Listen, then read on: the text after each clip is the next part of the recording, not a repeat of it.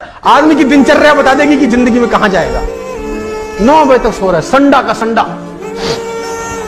हाँ आप देखो।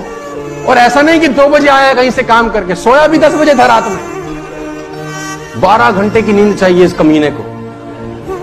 मैं बता दूँ आपको? देखो, मैं बता दूँ।